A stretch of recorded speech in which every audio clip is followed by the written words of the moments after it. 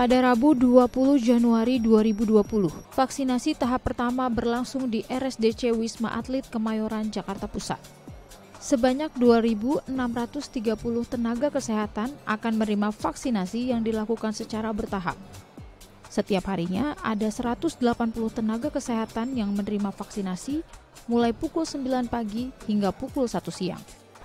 Vaksinasi terhadap tenaga kesehatan ini diprioritaskan karena mereka bersinggungan langsung dengan pasien positif COVID-19.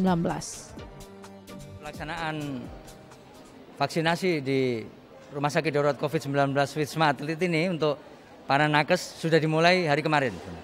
Jadi ini hari kedua. Jadi hari kemarin sudah uh, satu gelombang 180 nakes yang sudah divaksin dan alhamdulillah kemarin berjalan lancar dan tidak ada masalah, semua lancar dan tidak ada efek-efek yang negatif juga tidak ada. Artinya semua berjalan sesuai rencana. Kemudian hari ini juga dilakukan hari kedua eh, sejumlah 180 nakes juga. Alur yang dilalui para tenaga kesehatan yang melakukan vaksinasi di RSDC adalah pertama, melakukan registrasi, lalu screening. Bila hasil screening aman, maka dilanjutkan ke tahap penyuntikan vaksin. Setelah itu, dilakukan observasi selama 30 menit guna melihat reaksi yang terjadi. Jika penerima vaksin tidak mengalami reaksi apa pun, maka nakes dinilai aman dan bisa meninggalkan ruangan.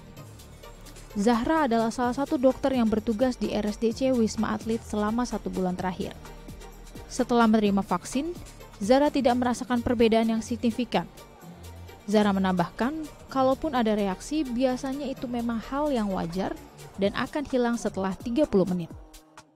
Vaksinnya baru sih, baru jam berapa sih tadi jam 10.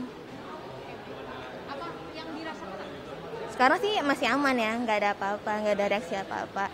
Cuma tadi pas penjelasannya, kan kemarin udah ada berlangsung vaksinasi juga. Jadi di hari kemarin itu reaksi yang timbul sih macam-macam. Paling ada yang lemes, pusing, tapi nggak signifikan. Jadi setelah 30 menit udah baik-baik aja. Namanya reaksi wajar pas vaksin sih.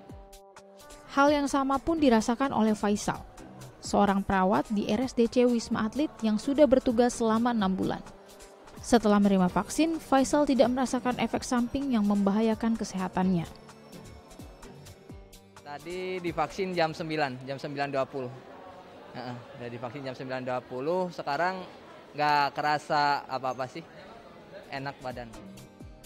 Melihat banyaknya informasi hoax seputar vaksin yang beredar di masyarakat, Letko Laut Dr. Arifin berharap agar masyarakat tidak langsung terbawa oleh berita bohong tersebut. Masyarakat diharapkan mau mendukung program vaksinasi yang sedang berjalan, karena melalui vaksinasi, harapan terbebas dari pandemi COVID-19 semakin besar. Pesan saya ke masyarakat, jangan sekali-kali percaya dengan hoax, karena memang vaksin ini harus dilakukan, harus dikerjakan, dan harus disuntikkan ke seluruh masyarakat Indonesia. Dengan tujuan, ya inilah memang senjata kita senjata kita untuk melawan dari virus ini masuk ke tubuh kita, penangkal kita ya vaksin ini. Mariani Goldiani, Syahri Kurniawan, The ITV.